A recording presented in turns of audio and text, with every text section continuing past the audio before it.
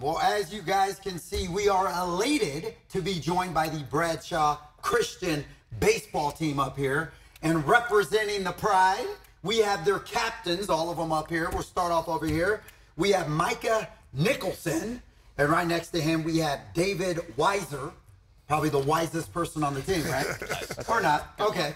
And then going this way, we have the catcher and captain, Roberto Garduno.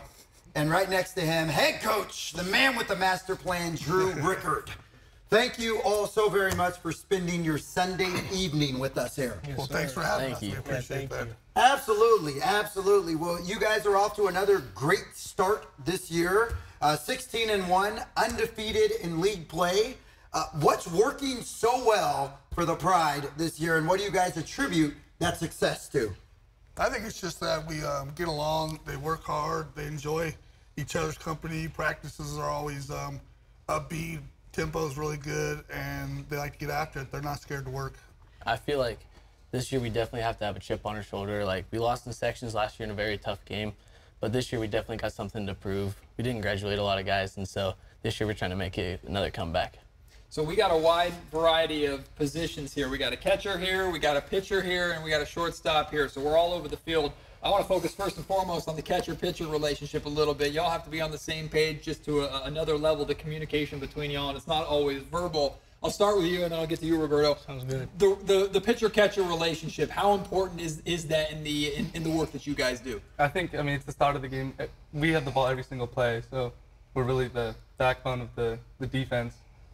And then how do you build off of the, the work that he's doing? He's dealing on the mound. You're trying to give him as, as good of a frame as possible. Also trying not to hurt your hand catching his fastball. I'm Yeah. sure. Well, what's it like catching his pitches and? Well, honestly, thankfully for me, is I've grown up playing with David, uh, so I actually had a feeling for him, and I already know what he likes and what works for him. So pretty much when he's pitching, I just like to go up there and make sure he's comfortable and that he knows I'm going to work for him, and I just let him do his thing. What does this team do before games? What do you guys do? You have a pregame ritual? Is there something that y'all do to get each other pumped up? Well, I think for a lot of them, it's a little different. You know, we have some hitting the cage, some will play catch, you know, just loosen up. Some play fungo golf on our baseball field. You know, mm-hmm. some, anything to get their mind in the right spot. And But really, I think what really is the main part of our pregame ritual is that we always make sure we get two prayers in from each captain. So Micah will get us going with the calmer prayer just to like, you know, we'll cross that threshold as game time. And then I'll go out right before the game starts with that like that more hyped up prayer to really get us locked in and get us going. All right, Pastor Roberto over there getting it going. David, I'm going to give you the props because I don't think you're going to brag about yourself. David is heading to Stanford, but he's just a junior. So we got a we got a Stanford, a future Stanford Cardinal in the house here. The in studio audience. Yeah, that's it. that we have. On cue, the in-studio audience. Yeah, the, the applause light came Yeah. somewhere. David, uh, how is this this program? And we had a couple seniors up here as well. I'll, I'll get to you guys too. But how has this program prepared you to take your talents that far? I mean, I know you still got this season, next season to worry about, so you're not getting too far ahead of yourself. But coach, from your your coaches, your teammates, your program, how have they prepared you to get this far? So Coach Rickard, he's our football coach as well, and he really teaches like how to be a good teammate, and it's not just about yourself. So we really work for each other, and you know what it is to be to be a team. And then our two seniors up here, you guys, there's four seniors total on your guys' roster, right? Correct. So you guys got a big responsibility. I know you said the success last year, you're carrying it into this year. You got a big junior class, which is good for the future of the program, coach. But for our two seniors up here, how serious do you take your, the leadership aspect of, of what you guys do? I definitely feel like sometimes that I take baseball for granted, and especially being last year of high school and then having to move on to the next chapter of my life, I'm just trying to take each game at a time and realize how important each game is at a time to keep that process going so that we can win sections.